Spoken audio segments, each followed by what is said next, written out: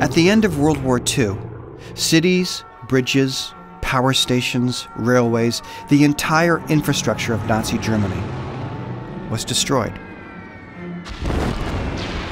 When the war ended, there was peace. And then the US rebuilt everything. This was called the Marshall Plan. Back in America, the post war era created an economic boom as a new interstate highway system allowed businesses to expand across the nation. It was the greatest public works project since the building of the pyramids. Small businesses got bigger, and an industrial sized bakery could now sell its goods across the entire nation. By centralizing its production, it could bake bread cheaper than your local baker.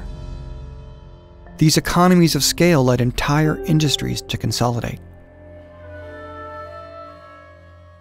Towns suddenly saw their local grain mills, slaughterhouses, supermarkets, butchers, dairies, and bakeries vanish, one by one. Now there's no difference between a supermarket in Kansas City or Boston or San Diego or Fort Lauderdale, and our culture is the poorer for it. We need a new Marshall Plan in this country to recover what's been lost. Benzi Ronen creates tools to power local food systems. He says We need networks of farms, highly local distribution channels, and motivated consumers. And instead of economies of scale, he says We need economies of community. When communities support local food producers, distributors, and consumers, they're helping to restore local food systems, one farm and one consumer at a time.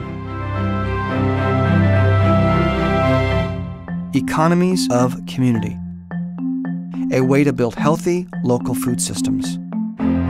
To learn more about terms like economies of community, visit lexiconofsustainability.com.